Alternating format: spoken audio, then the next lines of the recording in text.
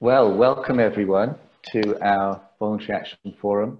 Um, this is promises to be a really interesting one today and um, a really busy one. As you can see on your screen, there's a lot of people with us today and people still joining.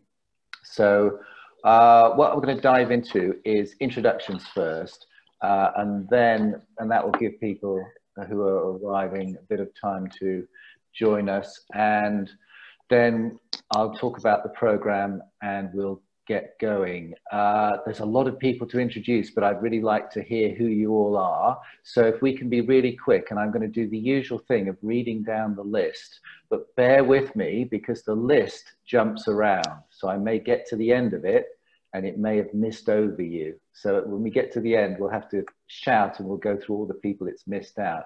So I'll say your name, uh, and then if you can just um, introduce yourself and where you're from, and try and keep it short because there's a lot of people to introduce. So I'm going to whiz down the list, and we're starting with um, Benny, Benedicta. Hi everyone. Hi, thanks Kevin. Uh, my name's Ben. Benedicta Asamoah Russell. I work for Camden Council um, as Principal Policy and Projects Officer, uh, co-leading the uh, disproportionate impact of COVID-19 on... Great. On, and, we, uh, and we're going to hear a lot more from you today. Great. Okay, and Rosie? Hi, I'm Rosie uh, also from Camden Council. I work in the community partnership team, so we work with lots of voluntary community sector organisations. Great. Zubair? Hi, Kevin. Um, it's Zubair. Um, today I'm definitely Volunteer Action Camden, but at the time in Camden Council as well. Um, uh, so I work at Volunteer Action Camden as a community engagement on cultural advocacy project. Yeah, and and at the council in Prevent. Okay, yes, thanks, Zubair. Yes. Uh, Allegra. Hi, I'm Allegra Lynch. I'm the Chief Exec at Camden Carers Centre. Um, and I've got uh, Laura. Do you mean me? Laura Crean, yes. Hi everyone, I work at UCL. I um, head up the teams that um, do public engagement and community engagement, and we work a lot with UCL's volunteering service. Great, thanks, Laura. And I've got Henna here. Is that you, Rafat? Yes, it is. But there's two. There's two of us actually. Um, I'm Rafat, uh, Henna Asian Women's Group. I'm the manager, and I think shortly you will be introducing my other partner in crime, and that is Rena Rani. She's the chair. She's also here. Okay, okay, Rena. You got two for the price of one. Rena, are you, are you there, Rena? I am, yes, yes. So, yes, I, as Rafat said, my, um, I am the chair of Henna. Great, welcome. Um, Anna Johnson. So this is, it's actually under the Zoom, it's under my wife's name, Anna Johnson. My name is Andy Custer. I, I live in Camden Council and I'm just interested in you know, environmental justice issues, um, having been an environmental manager in the United States. So I just moved here not too long ago. So I'm just here just to observe and just understand what's going on in this area in the community. Ah, well, welcome. Um, Thank you. Uh, Dominic. Uh, good morning, everyone. Uh, quick hello. Uh, I'm Dominic from Volunteer Centre Camden. Bal. Hi everyone, I'm Bal, Baljinder here, Matiana. Um, I'm a senior strategist in the public health team working for both Islington and Camden councils. Uh, Christopher. Hello there, I'm Chris and I work at Central YMCA um, with uh, recruitment and fundraising. Great. Anna Johnson. Uh, I think you called me twice. Oh, oh it's actually Andy. yes. Yeah. sorry. Sorry. I will. no problem. I will remember that now. Um, Gaynor. One mute. Hi, everybody. Um, Gaynor Humphreys. I'm a trustee of Hampstead Wells and Campden Trust, one of the small local trusts that covers part of Camden, and also on the um, Executive Committee of Voluntary Action Camden. Thanks, Gaynor. Um, Jessica. I'm hoping that's me. I don't know if there's any other Jessicas here. Um, it is you. Uh, it is me. I, I'm Jessica Lawson. I am the Prevention and Wellbeing Service Manager in Adult Social Care for Camden Council. Great. And uh, Farah, Farah Rainfly. Are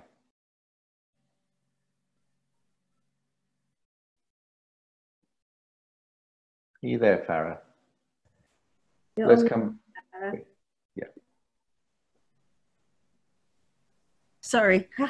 Um, Farah from Life After Hummus Community Benefit Society, one of the founding directors, and we're leading on the um, emergency response at Somerstown. So we're looking after about 270 people and about 70% of our beneficiaries are BAME. Great. Thanks. Um, Katya, Katya Hoovers. Hi, I'm Katja from the Advocacy Project. I am Mental Health User Involvement Coordinator. Thanks. Uh, Karen Martins. I am the Community Partners team member for Northwest London. Um, I work for Camden Council. Great. Uh, Mark. Hi, yeah, I'm Mark Agathangelo. Uh, I help run a, a voluntary group for chronic pain sufferers, and I also do patient partner work with uh, Camden MSK and the CCG. Thanks. Uh, Len.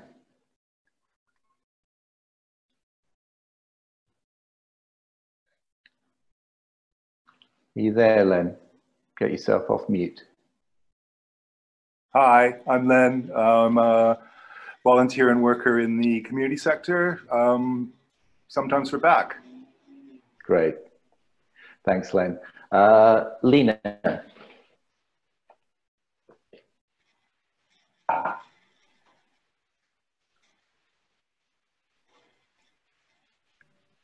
You come back to Lena. Uh, Liz Fowler.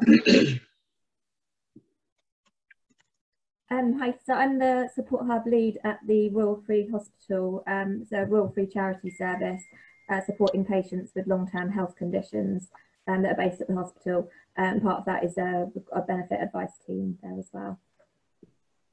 Yeah. Thanks. Um, Mulat. Uh, hello, good morning. Uh, this is Mulat Haragot. I'm the director of Evelyn Oldfield, which works with refugee and migrant groups. Yes, so welcome, Mulat. And uh, we, we used to have do lots of things with Evelyn Oldfield. So it's nice to see you. Nice to see you here. Um, Rose Alexander. Community manager for Regent's Place, just by Warren Street Station. So we've got 50 businesses based there and about 45 community partners who use our spaces and our resources.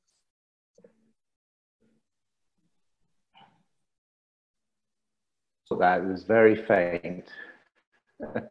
um, Sharon, Sharon Gordon. You're on mute, mute, Sharon.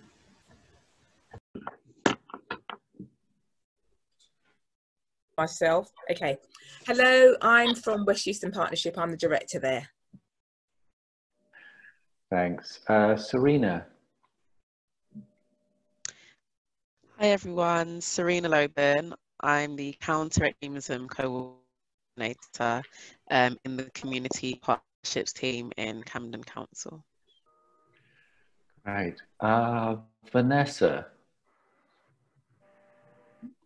Hi, um, my name's Vanessa Aparicio Hancocks. I manage the Early Parenthood Programme and at the moment Specialist Bilingual Family Services at Manor Gardens Welfare Trust. Right.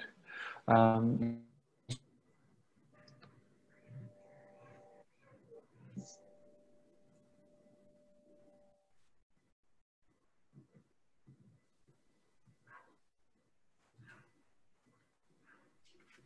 Should we come back to you? Um,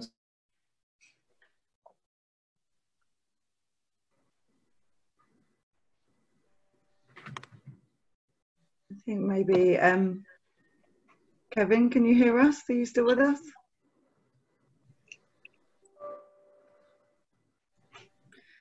Whether you can hear us. Uh, and now, I think we may have. Uh, I think we may have lost the host. Um, I was just trying to see so who was the last person who introduced themselves. Sorry. Um, I was Vanessa Aparicio Hancock, and Lena is here. I, I'm not sure why she didn't speak, but she's Hi. Hi. Sorry, I just missed my name. Hi. This Do you want to introduce yourself then, Lena? is my Lina. Hi,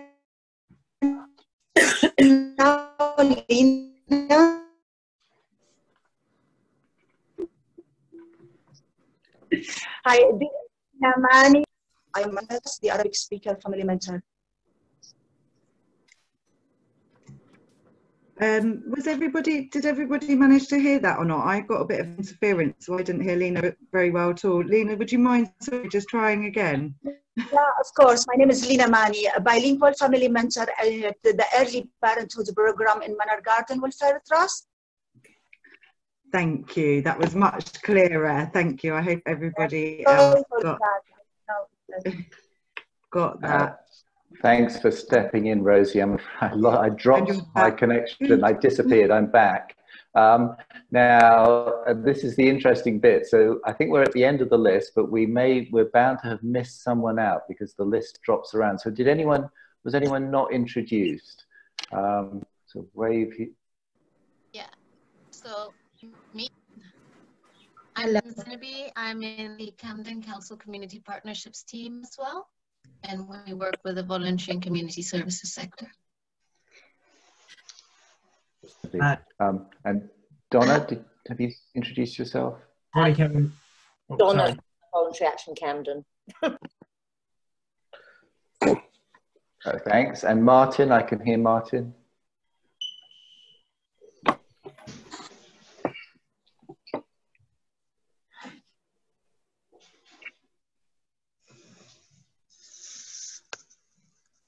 Kevin, shall I introduce myself? Um, Yes. Matthew Paris, Director of Health Camden. Uh, hello, everyone. Shall I introduce myself? Please. I'm Jodie Allen. I'm the Operations Manager for Somerstown Community Association and St Pancras and Somerstown Living Centre. Great. Anyone else I missed out? Hi. This is Sorry. Shanaz, go ahead. Yeah, Shanaz Ahmed, Bengali Workers Association, Surma Center. Okay, thank you. Welcome. Anyone else? Yes, it's Najum Ali from Family Mentor from Manor Garden Early Parenthood Program.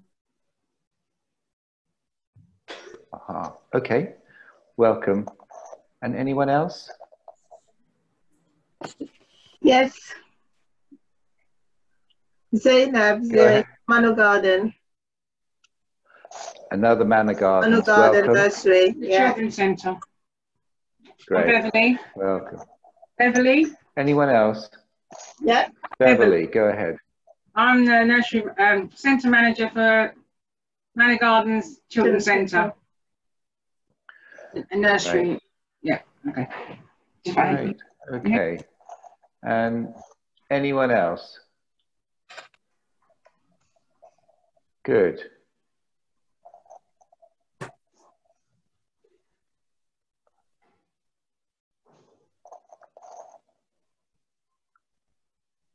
Okay, well, welcome to today's meeting.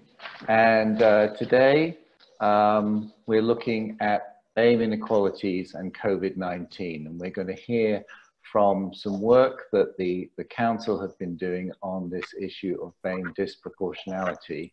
Uh, we're going to hear from Benedicta Asamoah Russell from the council and Balhir Matiana from public health. Uh, and we're then going to have some discussions on three themes on the impact uh, on ethnic inequalities, the impact on education, and the impact on employment. Um, and then we're going to wind up uh, by 12.30 and uh, so I think without further ado, I'm going to hand over to um, Benedicta out. I think I'm going to have to go inside because I So, Hi, hi, thanks, Benny, Kevin. over to you. Thank you, Kevin. Um, so thank you everyone for coming, uh, firstly, and um, with really with this piece of work, um, we have been drawing on um, pulling together key people across the council, um, working with our partners um, and also a number of professionals in Camden around how we can start to pull together evidence around the disproportionate impact of COVID-19. Um, so the direct impacts as well as those indirect impacts such as employment, um, education. Um, and so really with this project at the very start, so we started this around uh, six to seven weeks ago when, when we're hearing uh, from public health around uh, the health, disproportionate health impacts. Um, so we pulled together this project quite quickly to focus at, on how we can work with our community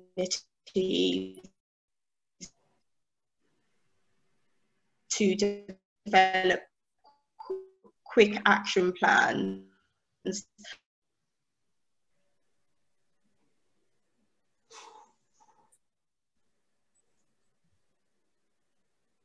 and that we can embed across the council. Um, and very early on, and something we was the um, system and how essentially this um, light on that and, and really shone a light on those deeply entrenched uh, structural inequalities. So really with this project what we've done is um, not only focus on on the pandemic but actually what we need to do going forward to fundamentally change the system um, and change the way um, society um, in black asian and um, other ethnic minority communities. Um, and so through this process we've met weekly and gathered information uh, so both lived experience and uh, um, quantitative data to really um, uh, build together a rich picture of the impacts of our community so that we can have an evidence-based action plan. Um, and so we, we are starting to wrap up that uh, rapid process um, and finalize those action plans and we're really um, looking at now meeting with um, a lot more of our uh, VCS sector to help shape those uh, plans better and also thinking about how we uh, continue to participate with our residents to co-design, co-deliver some of those plans. And so I'll just hand over to Bal to, to give a bit more information on that participation element. Thanks, Benny. Um, so we seem to have lost the slides. Uh, oh, okay, the back. um, Thank you. Um, so yeah, just to add to um, what Benny's been saying, um, we, we really wanted to make sure we involved all our key stakeholders in this process. So it's not just about us sitting around in a room and looking at what the evidence is, but actually listening to um, our residents, listening to VCS organisations and to other partners. So right from the beginning, we actively engaged with our VCS partners to submit uh, information about what they we're seeing and hearing from the communities and residents they work with about the lived experience of our residents. Um, and then during this process, so as um, Benny said, each week focused on a different theme. And for each of those themes, we um, did invite um, some selected stakeholders. So for example, for the health discussion, we had some senior GPs from the CCG come along um, and talked about some of the things that they were hearing in terms of primary care practice, but also what they were hearing about use of um, A&E departments and, and other kind of broader NHS services. We also had Healthwatch come along um, and talk about some of the findings from the study they were doing. Um, I'm conscious of time, so I'm not going to talk about that whole process too much. Um, but maybe if we go on to the next slide. So the next steps, um, just about this work, I mean, I'll quickly wrap that up actually, just that uh, there's an interim report coming out this week. There will be a full report coming out, um, hopefully in the next few weeks, Um, that doesn't mean that this work is stopping. It's actually going to be embedded in um, the work that we're doing in different departments. Um, it will still be, um, led by senior members, elected members from, from the council. So part of that working group, we had senior representation. So we had the chief executive on, on the group, we had the leader of the council, we had um, a number of cabinet members on the group, um, and uh, executive directors as well from the council. So that uh, senior level um, leadership will continue with the work going forward. Should I pause there before I start talking about the health impact or shall I just kick off with that? Okay, so I'm going to just kick off with them in talking about the, the health impact of COVID-19. Um, I'm sure most of you are probably quite familiar with some of these um, statistics and the evidence that's emerging. I'll just quickly summarise. Um, so in Camden, we actually have a, um, a COVID-19 mortality rate which has been age standardised, which is significantly lower than the London average. Um, so that's quite uh, surprising and interesting, um, and it has one of the lowest mortality rates amongst all London boroughs. But we are, however, seeing other health well-being impacts, and so it's important not to be complacent about this. Um, and we are seeing, so I don't actually have the data in here about the local, so very recently, so only um, in the last few days, we've had the intelligence team in public health um, release some new analysis that they have done of hospital admissions locally um, and the breakdown of those by ethnicity. And actually, we're seeing very similar picture at the local level of what the national data is showing. So we are seeing higher rates in certain groups, for example, the Bangladeshi group, twice the risk of um, death than the white British ethnicity, and then also higher risk in those other ethnic groups. Um, we've also got um, higher prevalence of some long-term conditions, and that's really important because those conditions increase the clinical vulnerability to COVID-19. So conditions like diabetes, heart disease, obesity, and high blood pressure um, the evidence is showing that those four are really um, quite important in terms of the impact of COVID-19.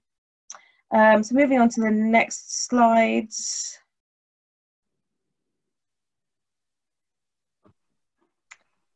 Thank you. Um, so like I mentioned before, we do know that there has been, at a local level and obviously a national level, a decrease in the numbers of people accessing NHS services. And that's really worrying because we know that people aren't accessing when they really need to. For example, when they're having a stroke or a heart attacks, but people aren't going to A&E, um, which is um, obviously a massive issue. And we also know that people aren't able to access um, other key services like around mental health, for example.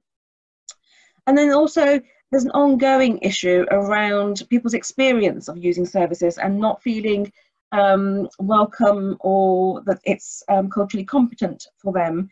So there was a report that we produced last year which looked at health inequalities and there was some evidence in there, local evidence from um, our Healthwatch organisations in Camden and Islington which talked about the discriminatory treatment um, that people experienced um, which really shaped their experience of using health services. Um, and there's national research to show that actually that everyday discrimination, whether it's actually real, but also the fear of it, is very closely associated to poor health and wellbeing outcomes. So there is a very clear link between health and um, discrimination. And then just on the last point, I think it's really important not to make assumptions about people. So this um, ONS data actually quite surprised me um, which is around digital exclusion. So this is quite relatively recent, 2018, and they found that actually uh, the number of internet non-users was lower in um, the Bangladeshi population than there was in the um, uh, um, overall figure for the UK. So I thought that was quite interesting that we are seeing different trends um, and that we should on a regular basis check how things are changing with, with our populations. Um, and then just moving on um, the next slide, please. Thank you. So um, very quickly, just talking about physical activity and also mental health and well-being. We know that obesity is a really key risk factor for severe illness and death from COVID-19. Um, so it's really important that we do focus on this. Um, and actually local data does show that some um, ethnic groups locally, so this is local data, are more likely to be overweight or obese. Um, um, what else do I want to say about that? so I don't need to go into all of that.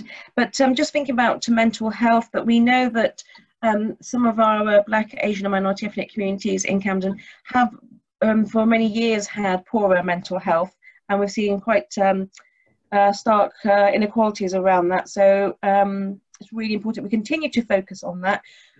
Early findings from the Healthwatch resident survey shown that, um, excuse me, mental health is really emerging as uh, an important impact of COVID-19. Um, so it is important that we do continue to focus on that and make sure we're putting things in place quite quickly, but also over the long term as the impact um, continues over a number of months. Okay, so just the next slide, please. Thank you. Um, so the population um, of Camden that um, comes from a Black, Asian or minority ethnic group is estimated to be about 34%. That is quite old data, so it's from the 2011 census data, but that's the only um, real data that we've got. Um, so that data, it, it, might be from the census data, but then it is estimated by the GLA about what it would be today. Um, so it's about 34%. Our largest communities are Bangladeshi, Somali, other Black African, other Asian and Chinese. So we do have a very diverse community um, in Camden. And one of the key things I think to note about the health impact of um, this pandemic is that it's not about the pandemic creating new inequalities. What it's really done is shone a light on those existing, deeply um, entrenched health inequalities that have been around long time. And these are around the social, economic, and cultural, environmental determinants of health. So working across the system to really try and um, make a difference here. Um, and just making, making a note of as well that we need to focus on the vulnerability as well as exposure. So how do we reduce that exposure to the virus, but then also try and um, build resilience people are less vulnerable to it. So by focusing on those underlying health conditions I talked about before. Um, and just the last point there really about that we know our communities are not um, homo homogenous groups, that even within um, our particular ethnic communities, there's great diversity um, and there's lots of strengths and assets there that we need to build on and recognise um, and acknowledge. So that's really key in the work that we do. I'm going to quickly just talk through about some of the things we've started to deliver. Um, so working with colleagues across the council and the system, to make sure we're getting the right public health advice out there to people in a range of different accessible formats to make sure we get the information to the people who um, find it hardest to get um, the most accurate and up-to-date information. So we're working with different um, partners around that. Developing and implementing the testing and contact tracing system, so that's at a local level, which is really important if we want to try and prevent um, a second wave. Um, I'm sure you've all heard about what's been happening in Leicester, um, and you know if we'd got if they had had the data around the testing quickly, they would have been able to prevent um, the cases getting so high. So that's really important. Um, we're doing lots and lots of data analysis as we get more and more information from the NHS about diagnosis and deaths. We're doing the analysis. We can make sure that then informs our response going forward, but also over the long term. Um, I'm not going to go through all of these bullet points because I know we are um, short for time. But we are working with partners to develop um, and implement an individual staff risk assessment. So that's across the council, but it could be rolled out broader. Um, making sure we have that ongoing dialogue with our different communities and residents uh, about what information they need, about some of the myth busting, about alleviating some and anxiety that's out there. Um, and just going on to the next slides. Um, Sorry, who's got the, uh, thank you. Um, so we're working with Healthwatch Camden as well to really promote their online survey, but also to do um, some focus groups with some key at-risk communities to get a better understanding of what are the support needs and the issues and priorities and concerns for different groups because they are not the same for everybody. Um, we're looking at digital exclusion um, and one of the key things I'd just like to raise lastly is about mental health, which is um, we've always had mental health awareness training available for all our residents and workers in the borough. Um, so we had mental health first aid training and we've had mental health awareness. One of the first things we did after lockdown was get those um, trainings into a virtual format. Um, they are available and we're actively promoting those and I really encourage people to sign up and do those courses. Really, really fantastic if they haven't already done those. Um, and also getting the information out to people about those um, mental health services that have also changed their operating models to make them much more accessible during this um, current time. So I think I'm going to stop there. I don't think I've got any further slides. Um, so I'll, yeah, I'll stop there. Um, I'm sorry, Kim, I can't remember whether we're taking questions now or we're going to be taking them all at the end in a discussion. Um, I think let's let's um, let's dive into the next part, which um, is the group dis- the the the um, these guided group discussions, uh, and then um, let's take any um, sort of points that haven't been covered right right at the end. So let me hand back uh, for the, the, the group discussions. Um, and then let me just say to everyone that uh, there, is, there are a lot of us on the call. Um, there is chat. So if you don't get a chance to um, have your say, then do put your um, do put your comments in the chat, and that that will be recorded um, and picked up as well. So um, Benny and Bal, you were going to go through three different areas. Um, the health impact and ethnic inequalities, education and educational impact, and employment and economic impact. So let me hand back and should we start on the health impact and ethnic inequalities? Uh, Bal or Benny, I'm not sure which one of you is leading on that one.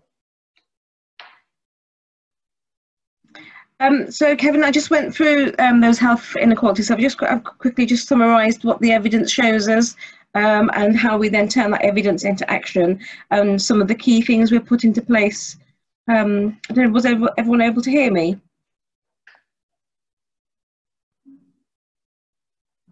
Yeah. Yeah. Yeah. So I'm going to pass on to then um, Benny to talk about um, the the next section. Hi. So um, I think what we wanted to do was um, maybe have a bit of a group discussion, so some reflections on those session, if that's still okay. Um, so we really wanted to hear from people if um, they agree with the evidence that's been shared um, and whether there's anything in particular that you think we need to add that hasn't been reflected from a health inequalities perspective. Um, but we're also keen to uh, for you all to help shape the action plan. So if there are any suggestions on uh, one thing that um, you think would make the most difference um, in our action planning, we're really keen to hear from people. Um, so uh, maybe a mix of the chat bar and if uh, people want to raise their hands, it, it would be great to hear from you.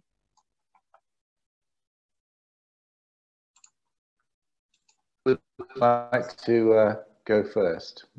So you have to wave at me or shout at me.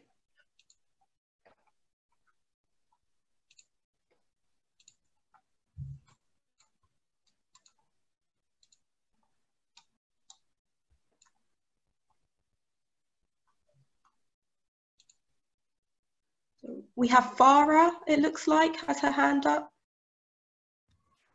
Thanks. Um, one of it's sort of more of a practical thing.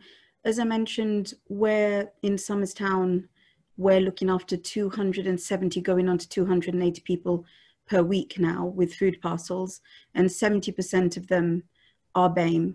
And actually, it's interesting because our highest proportion is Bengali and Somali. One of the things I raised very early on in the pandemic is we needed access to vitamin D we took it to public health, Camden and Islington. They came back and said they were doing a, a, consultation. We said, that's great, but we need access to it now. And obviously looked forward to that, those details. Um, we did manage to get a month and a half supply um, uh, donated, but that's run out already. So that's one thing I want to raise is it's, there is, there, obviously I've read the findings on COVID 19 and um, vitamin D. I'm not talking about that. I'm talking about the fact that people have been staying inside their homes. Um, the majority, the people who receive our food parcels, two thirds are delivered by volunteer drivers. They cannot get out. They, for multiple reasons, and there is a real need for vitamin D. Okay, thanks for that, Farah. Should we take a couple of points and then and then come back to um, Benny and Bal? So, Rena, you had your hand up. Um, please go ahead. Yes, thank you. This is a question for um, Bal. There is, um, you mentioned that with digital exclusion, the Bangladeshi group or community were most affected. Um, I was wondering whether you'd spliced that by gender. So is it more women? Is it more men? And also, have you looked at it by age? So is it younger adults? Is it older adults? Because it's too broad to just talk about the community as a whole. If we were going to have any effective strategies as an organisation, we'd need to know who to target. Thank you. Okay, thanks, Rena. And should we take another point and then go back to Bal and uh, okay, uh, anyone raising Shanaz? Oh, I've got Shanaz, and is that um, Shanaz? Go ahead. Hi, everyone. I just unmuted myself. Um, so I work with, I, I work as you know, I work um, for Bengali Workers Association, and I work with mostly older people. And the question you just asked, it's 99% of my members, because they're elderly, they're not able to use, you know, they don't get access to internet or they don't know how to use internet. So I am actually struggling. We, instead of using uh, when I'm passing on information, I can't send them an email. I have to make phone calls one by one, and they're they're not accessing information. They're not getting. So we have to create kind of group chat. They're not even able to use WhatsApp or type. So I have to ask them to leave voice messages. Not everyone is able to do that because they don't know how to use smartphones, and they're really struggling. Also accessing services uh, because of COVID-19, the GP surgeries and other places, you know, there is, uh, you have to book appointments online or you have to, there's something called Dr. IQ and stuff like that, that, you know, you don't, they don't have face-to-face -face appointments, they have to do things online and they struggle. Also telephone calls, because of the language barrier, they are not, you know, when they call, they struggle to make an appointment. So that's why we come in, we try to do as much as we can. But I was quite shocked at a decision that was made by CCG, I think yesterday, without any notice. Um, as you know, there's a large number of um, Bangladeshi community living in Somerstown and some of the areas like Queen's Crescent, near Queen's Crescent surgeries and places like that. So what the surgeries did previously, they would have an interpreter on it on like once a week or twice a week or some some days of a fixed time that, that those Bengali elderlies they know that that's when they can call, they can make appointment, they can discuss stuff and they can come in. But I think without any notice yesterday, CCG has decided to take all the sessions off. And I think that would cause a really big problem because they're, they're really afraid to go, go out. And obviously then they can't go out because they're elderly, they're shielding. So if they don't have the access to the services, that's going to be really problematic. And I think they will suffer really highly because I'm making, um, each day I'm making 30, 40 calls. There's no day and night because obviously phone call takes longer than any other. So the people who are working with the community, we know the effect, but I, I think um, that decision that CCG had made that needs to be looked into because they, they will really suffer significantly because of that. Okay, Shanaz, thanks for that. So we've got three points. Now, Rafat, I'll come back to you. Um, let's, let's take these ones back um, for Bal and Benny to, to discuss. We've got a, a number of points there, a range of things, uh, from everything from vitamin D to this issue of digital exclusion, um, decisions about interpreters, uh, it's a range of things. By the way, um, we're uh, we're recording this, um, and I hope that's okay. Uh, if not, do switch your camera off and we're it's so that we can also record the chat because we want to not miss out anything so if there's anything you don't get a chance to say then do put it in the chat as well so let me um, ask um, Benny and Bal to address those three uh, and then we'll come back to the next set of three questions starting with Rafat's. Okay, thank you very much. Um, those are really interesting questions, so thank you for those. Um, I'm going to work backwards, so I'll start with um, Shanaz's question um, about sort of those communications, um, and actually that links in with Rena's question as well. Um, we, we know that we have to use obviously a range of different channels for communicating with our residents. One size does not fit all. Um, and we are looking at, uh, right from the beginning, we have um, worked with our communications team our VCS organisations looking at how we do that. There's been lots of national resources that um, we've been trying to utilise as well. Um, but a couple of things just to highlight that we've implemented uh, or are implementing at the moment. So one thing that maybe um, Rosie could provide more information about as well is this um, group we've pulled together of VCS organisations that work primarily with Black, Asian and minor minority ethnic groups. Um, and the idea of this um, sort of working group is to focus really on communications and engagement. How do we get the right communications out to the right people in the right format, um, in a timely way, um, but also kind of picking up. So it's about having a two-way dialogue. It's about picking up what are the key emerging issues that that we need to address. So I think that's going to really help with that point. Um, and then also um, at the Health and Wellbeing Board last week, I think there was a conversation um, with senior members across the system about developing up a task and finish group at a local level to try and join up some of our communications, so particularly focusing around health and schools. So, um, and so the, the idea was there'd be representation from the CCG, uh, Healthwatch, uh, VCS organisations and Camden Council, um, and that we try and do some joint work together rather than duplicating efforts. Um, and that's in the process of being set up, so hopefully that can um, feed into that. But it'd be great to get your your ongoing input into those activities. Um, the point about the digital exclusion and that um, the ONS report that I mentioned, um, so that was national data, so that's not local data. But the reason why I wanted to highlight it because I feel quite often we make assumptions about our residents and about our different communities, about how people want to be communicated with. And actually, we shouldn't make those assumptions. Um, and we do and we do need more um, evidence about how people want to receive information. Um, so um, in terms of the breakdown of that, um, of, of those findings, um, I sorry, it's quite a while ago that I looked at that report, so I can't recall whether that was there. But even if there was, I mean, I think it's it's not directly applicable to our work. It's just um, something just to kind of note, really. Um, and then the third point, which was around vitamin D. So yes, we, I mean, we don't really know yet what the relationship is between vitamin D and um, COVID 19.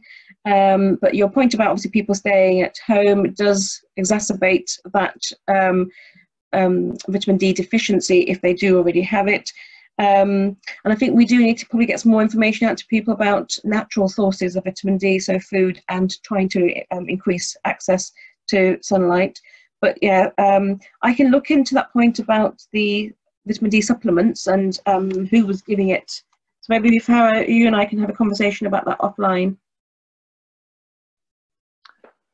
Okay, thanks. Now I had um, uh, Rafat and Lena um, next. So uh, Rafat, what was your question? And you need to let me unmute you. Right, there we go. Uh, it's just a few points. Uh, I think Bal's just uh, made a few of them clear anyway. Uh, but it was uh, firstly starting with who are the actual partners that the public health team are working with to relay uh, information and accessibility to users. I know she's mentioned the VCS, Camden Council, Healthwatch. I wanted to know, is there any uh, local intelligence used? And I'll, when I'm talking about local intelligence, I'm talking about grassroots charities that actually are on the front line, that are working with uh, the users that actually do have, uh, well, the best idea of what residents need. Um, you know, uh, this kind of issue was taken to senior leads and councillors at Camden Council. But unfortunately, that was a few weeks ago and no one's actually got back to us. So as a BAME organisation, we do feel extremely demotivated when it comes to uh, relaying information or local intelligence that we picked up uh, only to be ignored. Um, um, and it's it's obviously once again it's just the normal routine that BAME organisations have kind of got used to, unfortunately. Um, so now, uh, yes, it is COVID nineteen. Yes, BAME users are obviously placed at high risk, and yes, I do understand that we are using national data, but it doesn't come anything close to what the real data actually is. Um, to pick up census from 2011, that just doesn't make sense. We're, we're in 2020 right now. We are facing COVID-19. We have high-risk individuals that come from BAME communities. It is about time that we sat down on a round table to actually sit down with grassroots charities to discuss these matters because we are the ones that are providing the, the, the, the right information, like even the whole digital inclusive um, inclusivity for the BAME users. You know, we've been able to give out our, our uh, tablets to many, many BAME users.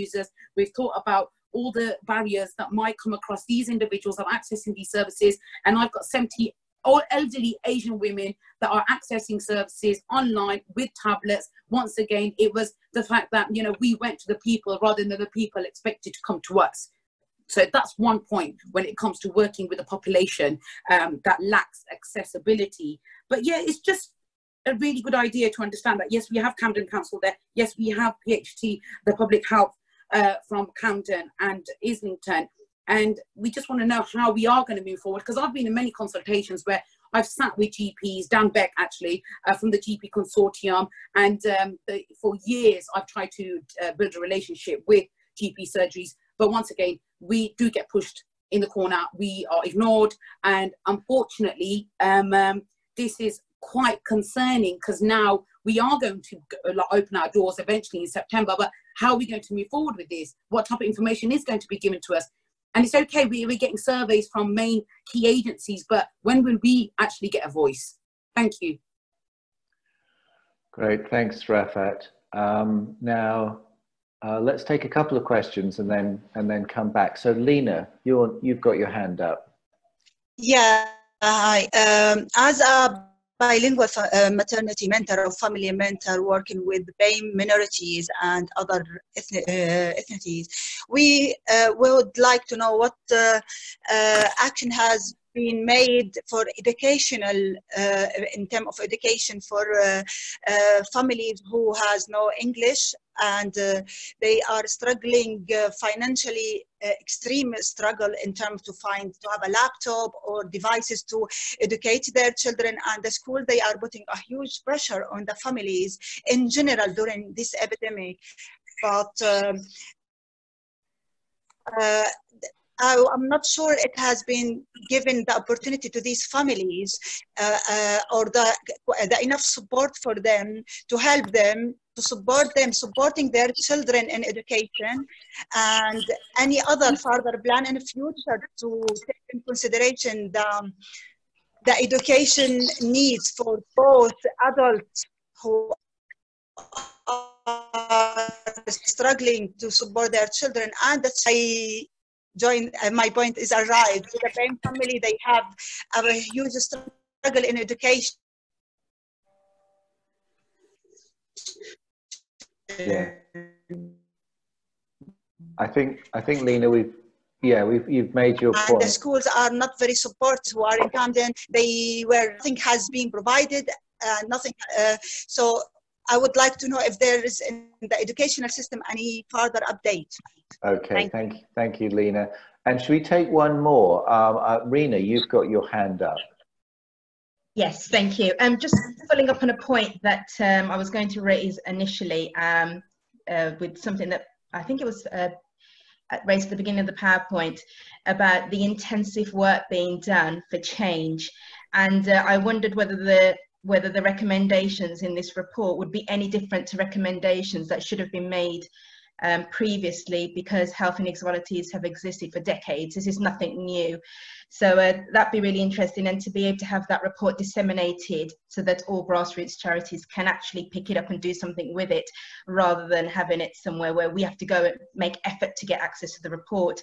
Uh, and then pulling up on a point that Rafat has just made that um, I'm not sure, again, using old data from the Syndex, I'm not sure if um, it's appreciated that there are only 10% of services and organisations in Camden that serve BAME individuals living in the area. So to not even speak to those 10% of agencies is, um, you know, it, it, I mean, it would, it would make the job very difficult. I think recommendations would be very difficult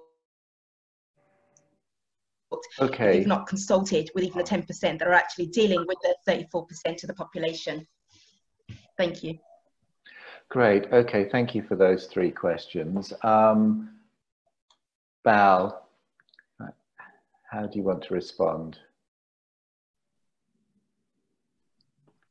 Um, thank you. Uh, again, some really important points made there. Um, so just around, um, so Rafat's question around local intelligence. Um, um, actually, all three points were very similar, really, about using local intelligence and involving local organisations. Very, yeah, completely agree. Incredibly important. It's not just around what data tells us, um, and also we do do a local um, data analysis as well. So we have GP data that we analyse as well.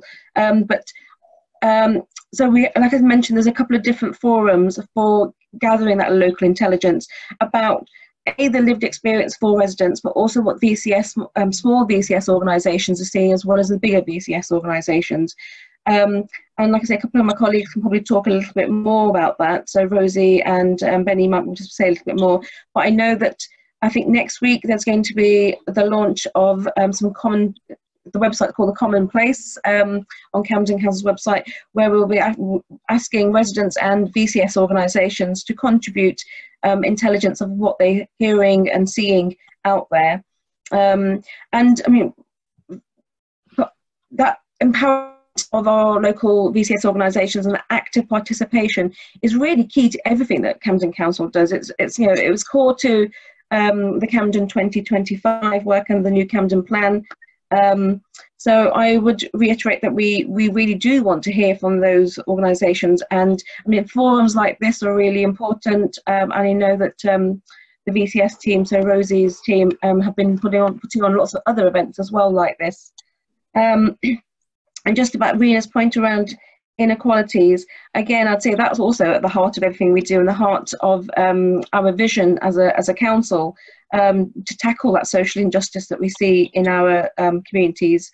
Um, so like I mentioned, the report that we did last year around tackling health inequalities that Public Health did, it actually showed some really good progress as well that we'd made. For example, diabetes in our black community um, has now stayed, well, the, the, control of diabetes had improved since previous years. Um, and my concern is that something, something like COVID is might put some of that success back a bit and we actually need to really focus on how do we maintain um, some of those successes that we have made in recent years. Um, so and I'm, I'm conscious of time, so I don't want to go, go on too much. Um, but just about Lena's point around education, I'm not going to preempt um, uh, Benny, Benny's slides, so she's going to be talking about this in a moment. Um, so I'll let her kind of answer that point. I hope that's um, helps, but I don't know if Rosie or Benny, you want to add anything to those, to those points? Yeah, um, thanks, Bal. And I just wanted to reiterate uh, some of what you said, but also reflecting on the different styles of participation that we need to put in place and really um, coming to this group and having this sort of forum um, is the first step with that. And we really want to take forward the, um, some of the actions and help to shape the plan that we, we do publish based on this discussion. And so really making sure that part of our recommendations can be that we need to go further to uh, work directly with our grassroots organisations. And we hope as part of this process, this intensive process, that we're starting to do that. So, for example, with the communications working group that was mentioned, where that's um, definitely an invite to anyone that does want to join that and help us to shape what are the most important um, communications that we need to ensure are available to our communities. Um, but also we're thinking about how we can set up um, some resident panels, for example, and specifically looking at having um, a diverse range of uh, voluntary sector organisations as well as residents who can um, be critical friends to, to the council, but also work in partnership with us to co-deliver for some of those action plans and thinking about how we can make sure we work together collaboratively to ensure that we do tackle these structural inequalities and help to change some of um, the services and the way that they're delivered to to different groups. So definitely this is the start of the process and uh, really open to hearing ideas on how we can continue to maintain these discussions and make sure that um, we we do share those uh, across the council um, and, and embed change in how we we participate with people. Um, and uh, as Bal mentioned, I'll come back to the education point um, with uh, with the slides on on schools and, and young people. Do you, I, I don't, I know we're quite short on time. I'm happy to just post some stuff in the chat, Kevin, or just. Yes, um, Benny, should we carry on now with your next part? Yeah. Um, Rosie, are you okay to pop the slides back up? Yeah, sure. I'll post some updates in the chat after the slides. Okay. And so just to give a bit of an intro, um, we have been, um, so as part of this process, uh, we touched on that we've had uh, five key themes, uh, six key themes, sorry, and one of them has been education and young people.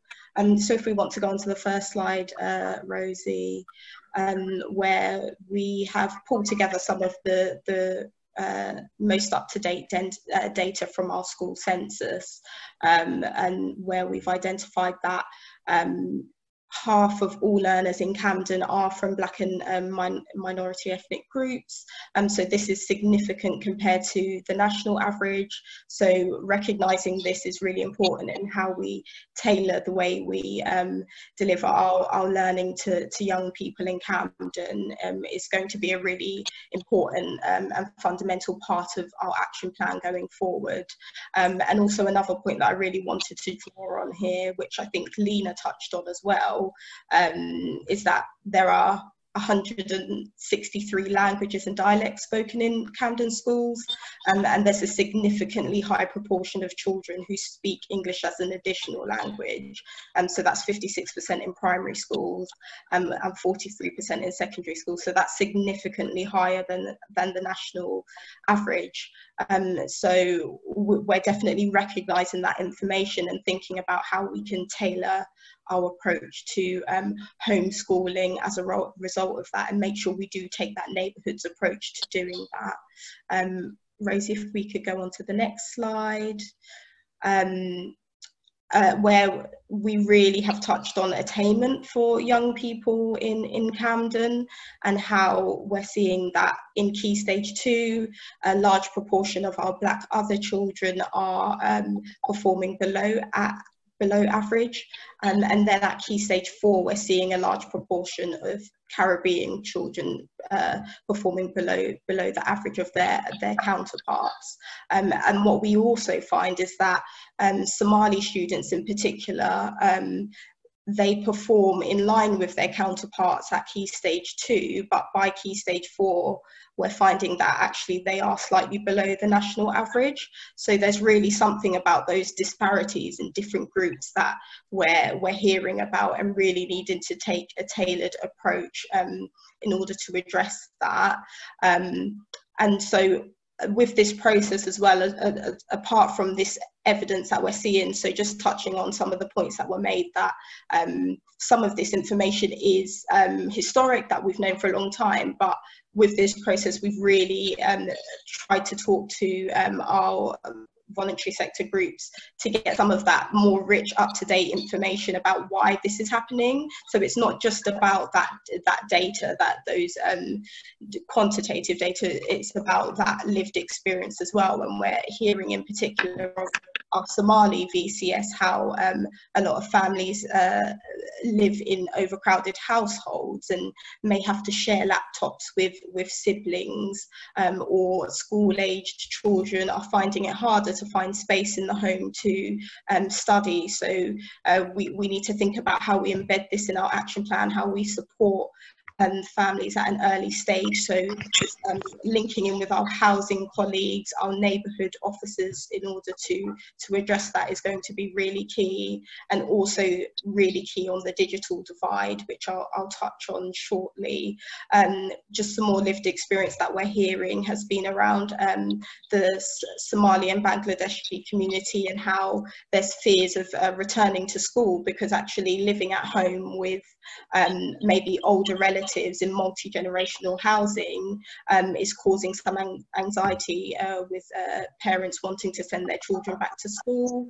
Um, and then also just really quickly touching on um, how unconscious bias has been a real concern for parents parents and how um, the, the changes to uh, grading grading uh, young people's um, exams this year has been based on predicted grades and we know that evidence has shown that um, black and asian and other ethnic minority children tend to be uh, tend to get lower predicted grades. So um, these are some of the anxieties that we're really hearing on the ground and um, starting to think about what we need to do what we need to put in place to address this. Uh, Rosie if we can move on to the next slide.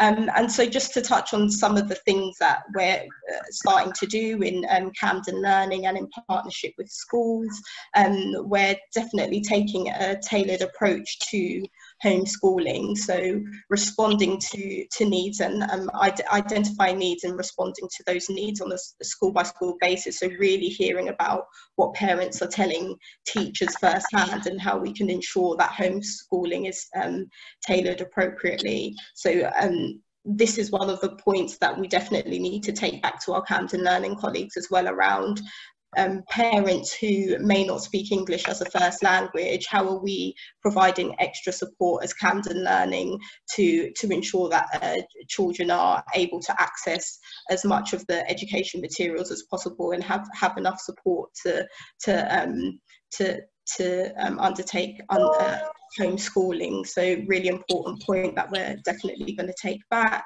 Um, if we move on to the next slide with uh, the digital divide, um, we've received over a thousand devices from the DFE. Um, and so uh, with this, we've prioritised um, looked after children um, and ensuring that the most disadvantaged children have access to laptops um, and also Wi-Fi, as of course access to Wi-Fi is also an issue. Um, and now we're starting to look at how we can ensure that we prioritize the next phase of young people and um, who may not have access to laptops. So as part of this, um, this piece of work is definitely feeding into this. And we've been really um, clear about sharing this evidence and saying, actually, we know that our Black, Asian and other ethnic minority um, young people are going to be well are disproportionately affected. So how can we um, prioritize them in rolling out some of those that equipment in this next phase and as we go through the summer and into the the new um, school year? Um, so we're also working on that. Um, if we move on to the next slide um, we've also touched on um, the the assessments and the concerns around uh, those predicted grading. So uh, Camden did respond to the off Ofqual uh, consultation and raise that this is a that this is a concern, and we we have facts and figures that show that uh, uh, young black children in particular have been um, uh, received um, predicted grades that are lower than their counterparts. So really thinking about how um, people um, that are re reviewing those predicted grades are uh, taking equalities assessments and taking this into account when they give the final grades for young people. Um, so yeah, we're, re we're really um, tackling this head on and also working on how we can um, embed um, anti-racist materials for schools. So uh, a lot of uh, resources have been distributed to, to schools around Camden and they've also um, led pulling together some resources and uh, sharing this with parents as well as um, teachers um, in, in, light of the Black Lives Matter movement. So just really picking up on those, what's been happening over the last few weeks and making sure that that is embedded in um, how we um, uh, address schooling going forward. Um, and then one other thing that I did want to touch on is that transition period for young people. So of course we, um, I'll, I'll touch on employment in a bit more detail later, um, but we know that young people um, once they come out of school are 54% more likely to be un unemployed than their white counterparts. Um, so we're really um, working on ways to tackle this. So one example of that is a virtual work experience program because we know that there's the risk of um, uh, young BAME, uh, young BAME um, people falling even further behind. So how can we ensure that they have access to, to those employment opportunities at an early stage? Um, so, so that's a summary of um, some of the work that's already started. Um, and then as the slides show, where also we've also heard about um, mental health needs. So um, uh, a report uh, came out recently, which uh, came from information from Kooth, which is an online um, mental health uh, charity that supports young people, and it found that um, uh, BAME children are much more likely to access their, their services during this time. So the school are very much, schools are very much now tailoring their advice and providing guidance to parents and pupils around mental health and ensuring that they are supported and that there is tailored support around that. Uh, so I will stop there um, and uh, if people have any questions and that would be great. It would be great to hear from you. Okay, so we've got um, time for a few questions now um, before we do the, the last section. So Rafat, you were very you were first off the mark, so fire away. Yeah, it's just a quick one. Um, right, so we're, we're talking about tackling inequalities at the report that was derived last year. Um, since then, can the council give me an understanding of how many BAME organisations have actually been commissioned from Camden itself? If we're talking about ta tackling inequalities, how many BAME organisations have actually been commissioned by the council to assist in this uh, piece of work? Okay. Um, that was a quick question. Should we? It is. Um, obviously, I'm not talking about pocket funding. I'm talking about long-term commissioning work because we're all used to as BAME organisations getting pocket funding. Like for instance, Camden only gave us some funding uh, for a befriending project, and that was over around about seven years ago. Um, so this is something I've always wanted to know: which BAME organisations get commissioned um, from the council, and how do they push forward? I'm not sure if um, Benny or Bal would have that that answer actually, but that I mean, would be something that would be quite interesting to actually find out because if we are now going into uh, getting organisations and obviously uh, many different VCS organisations ready to bring on people uh, once obviously lockdown is uh, properly you know out and of the way. Um, I want to know who will be commissioned and how we can work forward because many organisations now are facing financial crisis because we've had to use a lot of our money out of our own funds to uh, provide to users. But how is the council now going to step into commission organisations to work now further, um, making sure that prevention means are, are put into place? Thank you. Okay, thanks, Rafat. I don't know if there are any, um, I don't know if Benny or Bal or any of the community partners would, would be able to answer, answer that, that, at this yeah. stage. Um, does anyone want to take a stab or? I mean there's not there's not a um an overall kind of figure or, or number that i i could give you rafa. Um i know a few people have uh, have said in the chat that we would like to know the answer to that too. I mean to be honest we've we've spent quite a long time in our, our team trying to find out just actually which different parts of the council fund which parts of the the VCS and building that picture in yeah, itself is, is more the, problematic the, than you no definitely because this is now something that you know obviously Balan mentioned that the discriminatory experiences of users accessing services But we're now, as organisations, we're like, okay, there's discriminatory experiences of when the council comes to commission, give us work. They don't. We, we get ignored. So this is something now that maybe it should be up for conversation because we are facing COVID 19. We're, we're coming out of our lockdown. Our services will reopen, but who's going to support us? Because we're doing a lot of the work. and that's always the case. Yeah. And the, the, you know, obviously, there's loads of funding around. We know that there's money. Councils do have money because they put it into their own personal reserves. Um, and Camden's very good at actually saving their money, which is given from central government. But where does that money go when it comes to commissioning work? Who is commissioned? What, which which side of the borough is actually getting the money? Because that is something the the part that we're actually based in, we don't get nothing. Um, so you know, it, it is up for conversation. I would actually prefer if this was taken to certain councillors, uh, because I myself have actually tried to contact many leads and senior councillors in Camden Council to directly ask this question, but once again, ignored, um, which is extremely pathetic. Uh, but yeah, uh, unfortunately, I mean, that Rafa, I mean, that reiterates what um, you know a few of the organisations that contributed to the kind of get evidence gathering stage yeah. of this piece of work, which was, you know, it was quite a kind of quick turnaround on this, and there wasn't a huge amount of organisations that were able to kind of contribute at that stage, and that's why we sort of wanted to work with VAC to kind of carry on the discussion around this. Um, but that was a point that was made by a lot of organisations was about around the fair distribution of, of funding. Yeah. Yes. So I mean, there's a couple of things that have happened since then. So um, we contributed a bit to Camden Giving's COVID-19 fund. So the council's contributed 250. Five thousand pound is not enough to work.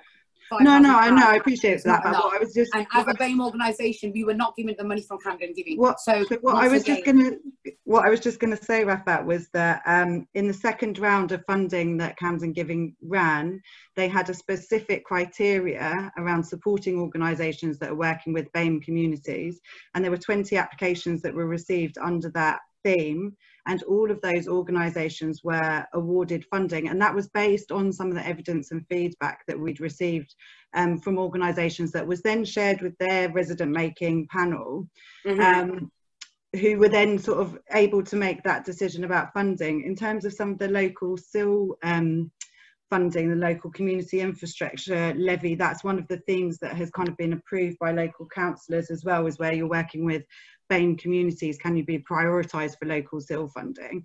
So that so the council's been looking at how CIL funding can be used to um, support COVID-19 responses. I mean, in terms of kind of wider support for the sector that's been looked at at the moment, I mean, the thing that I would say is that there is always um, never going to be enough money for what is needed in both in the sector and and in communities. I think it's really right to kind of challenge and raise the point and actually ask the question about who's being commissioned how much and how are those decisions being made. And i think that that has kind of come out of some of the recommendations in terms of the monitoring and reporting around that.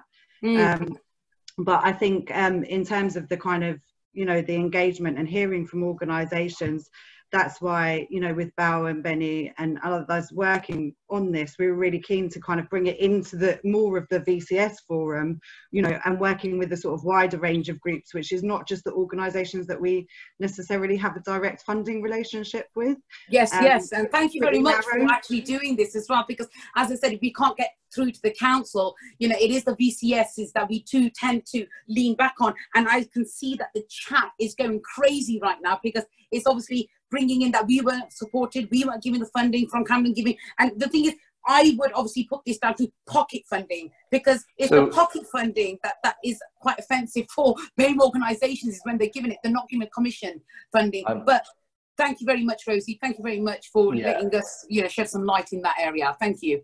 Yeah, clearly this has really touched a nerve, um, and this is a this is a big issue. Um, and um, sorry, Kevin, I've just literally revolted the whole group, haven't I? I've started a revolution. you started the revolution.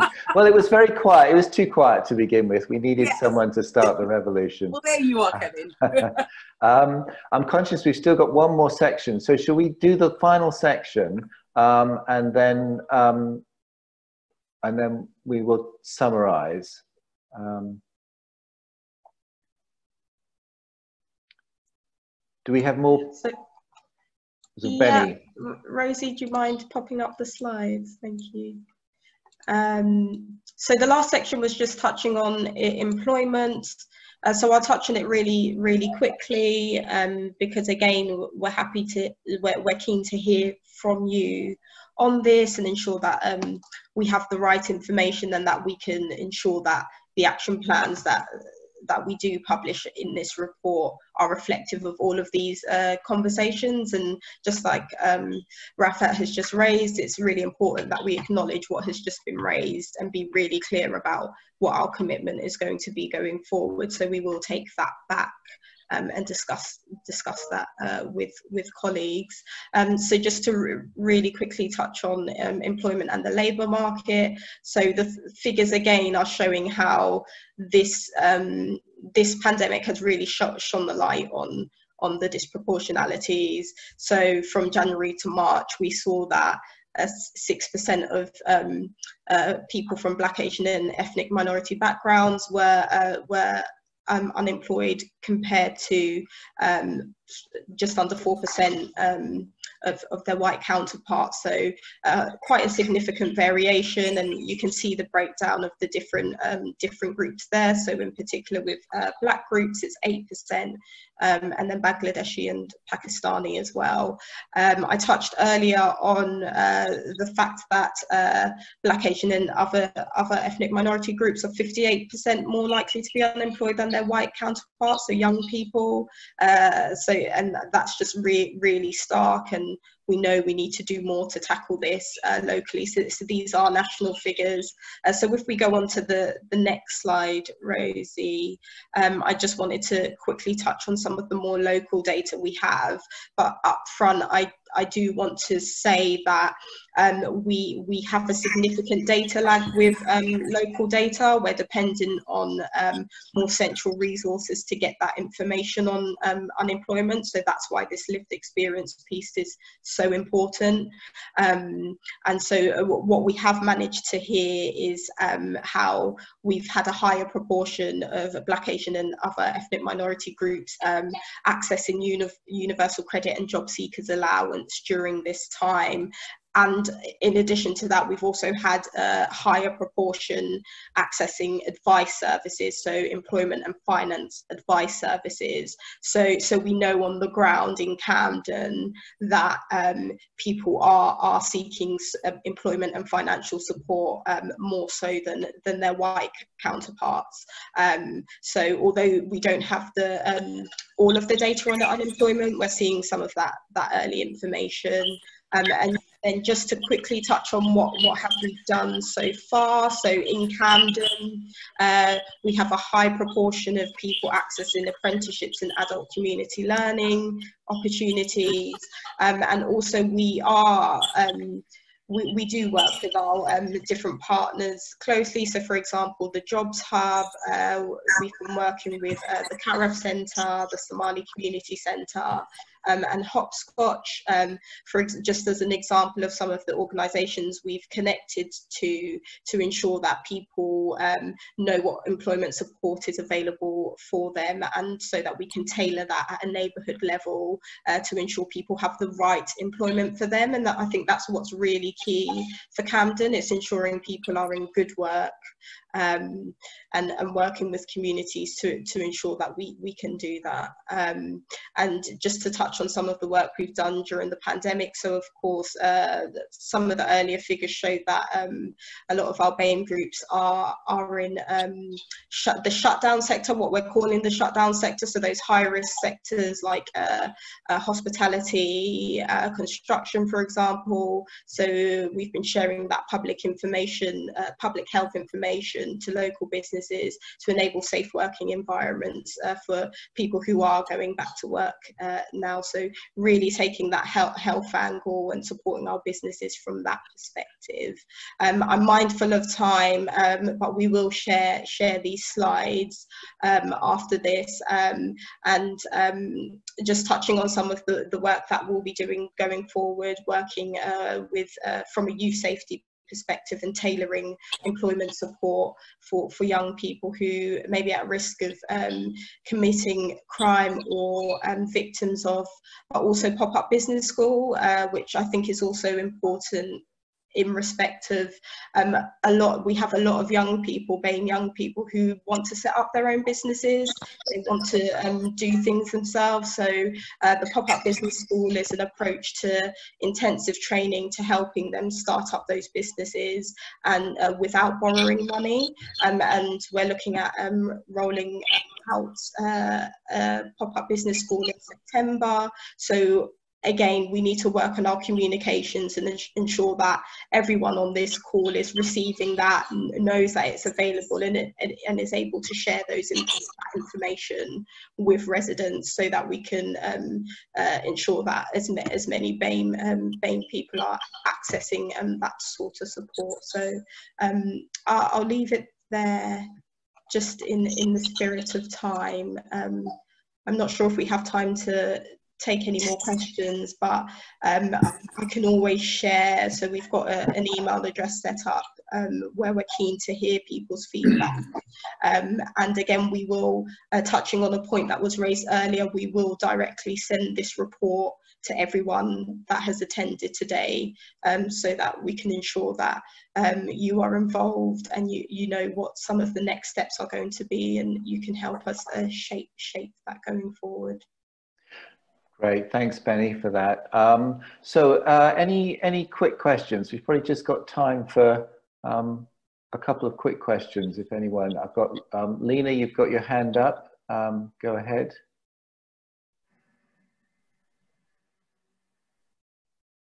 Maybe it was for the second time, but I was, uh, it, I skipped something in terms of education and thank you so much for all the updated um, and uh, information for us to follow up and see better results in future. But in the website of the council, further support and advices.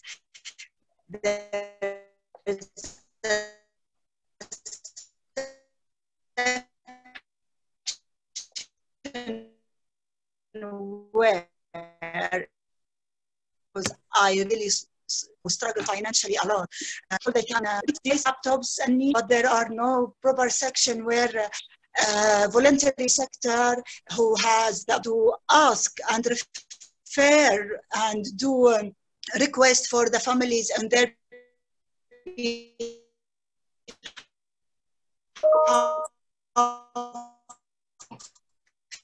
because they are not able, they don't enough support from the schools. I would really appreciate if you extremely hard with this vulnerable family who has especially the language barrier, uh, if you can do further collaboration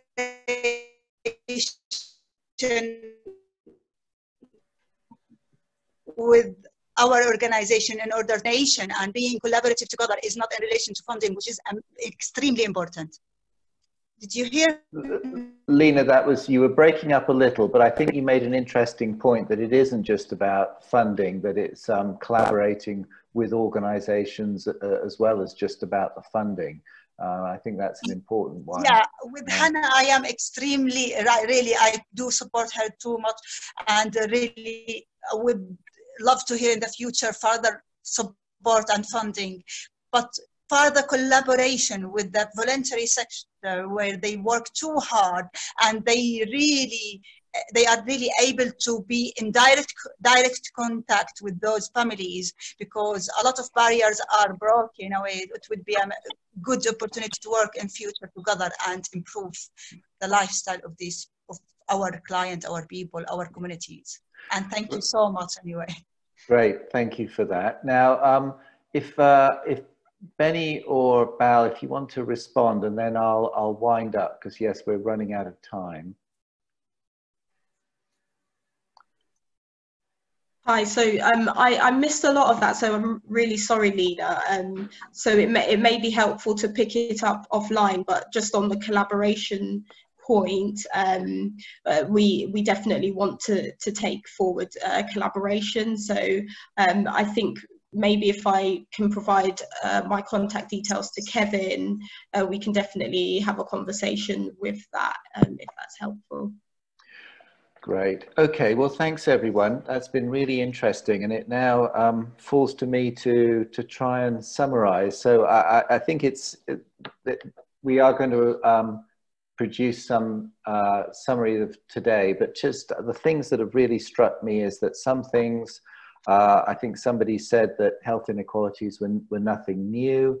Um, the, some issues like the, the, the digital issue, the interpreters, um, and I think that um, Rafat's revolution about BAME organizations being commissioned, the, that these things really uh, hit a nerve. And I think for me, something that was really came out was this problem about local intelligence versus um, the data that um, the public sector is comfortable with. And I, I, think you'll, you won't be surprised to hear that uh, we network with our colleagues across sister organizations across the country. And, and this has been a real issue right across the country that, that um, the local organizations have, have seen what's happened straight away and have tried to give that local intelligence to the public sector and the public sector then is in a difficult because they like good solid data and to them some of our data seems a bit anecdotal and then you have this tension between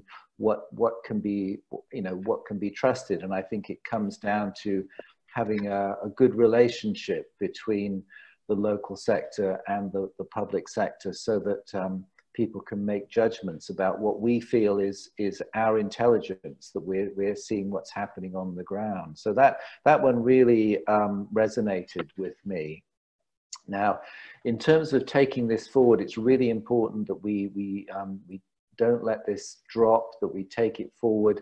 So, um, and, and VAC, we've been working on this area of health inequalities for some time. So we're, we're really keen on this and we will pledge to take this forward uh, with VCS organizations and we will uh, do what we can to facilitate. I've I've talked to a few organizations um, and uh, Healthwatch, of course. And so we will put out a call for organizations who um, want to be involved. Our role will just be to facilitate. Um, and we will make sure that the VCS uh, takes this work forward and we will do what we can.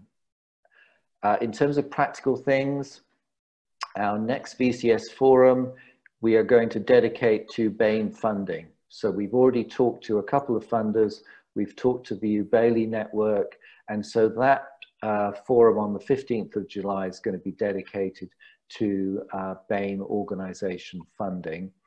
Um, other suggestions that have come up, uh, I think it came up today, it's come up before, and that's this idea of um, partnership working, maybe larger organizations partnering with smaller BAME organizations. Uh, that's come up, so we will try and uh, organize a session, uh, a forum in the future on, that issue as well. Um, but I think the, the most important one is uh, some sort of uh, forum that, that takes this issue forward. So if you want to be involved in that, um, please do get in touch. So I'd like to thank uh, Benny and Bal in particular. Uh, thank you very much for coming and presenting and the work that you've done on this. Um, I'd also like to thank everyone behind the scenes uh, from the council and from VAC. And of course, I'd like to thank all of you very much for coming and taking part.